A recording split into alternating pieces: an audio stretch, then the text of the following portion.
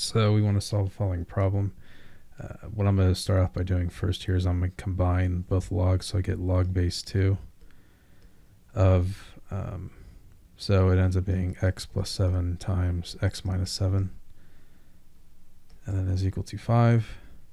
So I can rewrite this as 2 raised to the fifth is equal to x squared minus 7x plus 7x minus 49. So what I end up with um,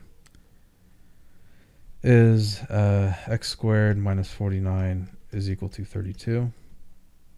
So then plus 49 plus 49 is 1, 1, 81. So x squared equals 81. Take the square root of both sides.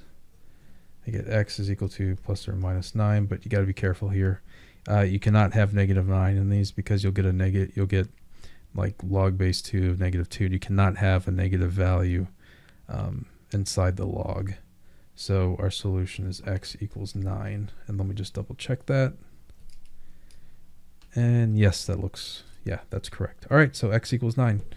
All right, I hope this helped you out. Thanks for watching. You have a great day.